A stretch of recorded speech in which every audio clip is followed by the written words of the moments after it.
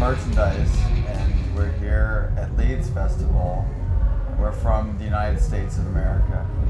I'm excited for it. I think it's going to be pretty interesting, playing to a lot of high school kids and uh, some some late bloomers probably.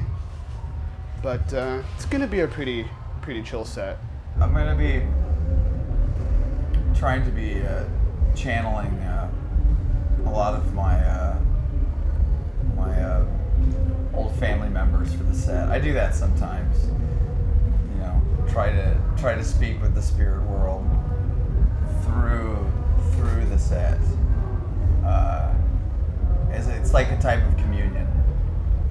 I'm interested to see Nine Inch Nails. I saw them once in Belgium at a festival we played, and uh, you know that kind of stuff.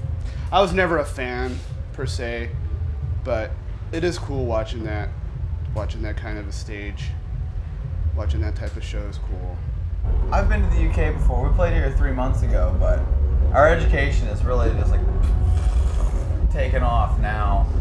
I feel like uh, we really had no clue what the had the difference between the festival circuit in the United States, in the mainland of Europe, and then in the UK. So it's really a whole other planet. Eminem all day. Marshall, hell Most yeah! exciting act will be Marshall Mathers.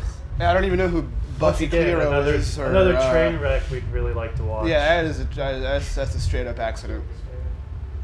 I don't I don't Green Day, Pfft, no way. Um, yeah, Eminem. He rules. Label gossip and all that stuff is kind of like uh, I mean it is gossip.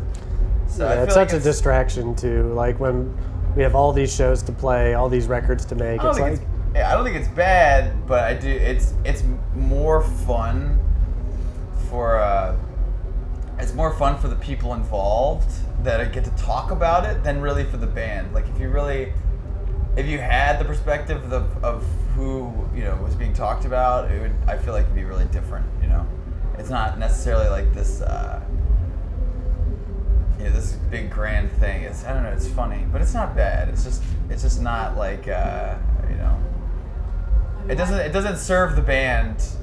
I feel like as much as it serves the people that like to talk.